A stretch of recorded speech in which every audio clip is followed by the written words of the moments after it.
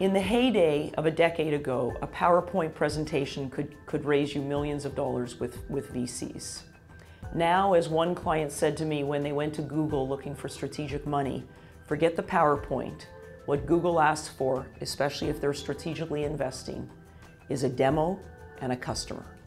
So the two things you need to do from the outset, even from your basement, is develop that demo and find a customer. And it doesn't have to be a paying customer. It can be a demo customer, an alpha, beta customer.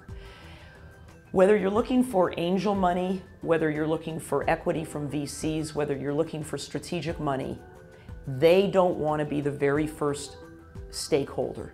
They want to know that you've got sweat in there, which is why some sort of prototype is so important and some sort of plan around marketing, business development, customers, channels is so vital. There are a lot of angel organizations across Canada. We can help you find them and we can help you link to angels. But you've got to have a great story and it can't these days just be vapor.